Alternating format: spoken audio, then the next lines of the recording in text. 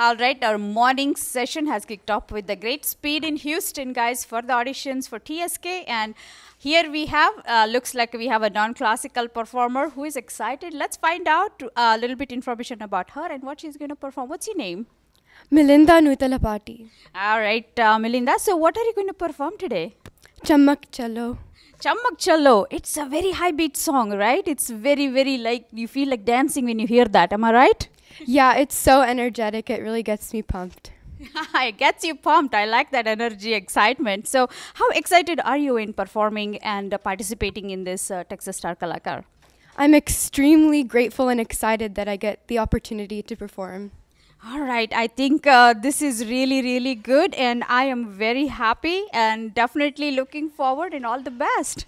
Thank you. I wish all the best of luck to all contestants. That's very nice. Thank you.